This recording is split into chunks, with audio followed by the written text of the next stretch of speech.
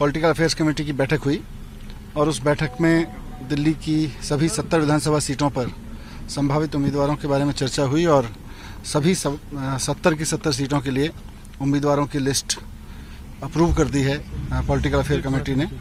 सभी सत्तर लिस्ट सभी सत्तर के नाम अभी आपको थोड़ी देर में जारी कर दिए जाएँगे।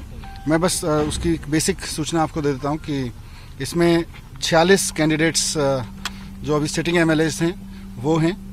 नौ पहले से खाली सीट्स थी उस पर नए कैंडिडेट्स हैं और पंद्रह सिटिंग कैंडिडेट्स सिटिंग एम की रिप्लेस रिप्लेस किया गया है। इसमें एक अच्छी बात यह है कि पिछली बार आम आदमी पार्टी से छह महिलाओं को टिकट दिया गया था 2015 में।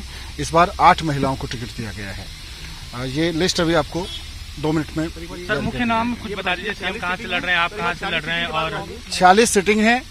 पंद्रह सिटिंग एम रिप्लेस किए गए हैं। नौ पहले से खाली थे तो उनको फिल किया गया है। नौ समेत पंद्रह बदले गए नहीं नहीं नौ प्लस प्लस चौबीस चौबीस। छियालीस पुराने। छियालीस पुराने हैं।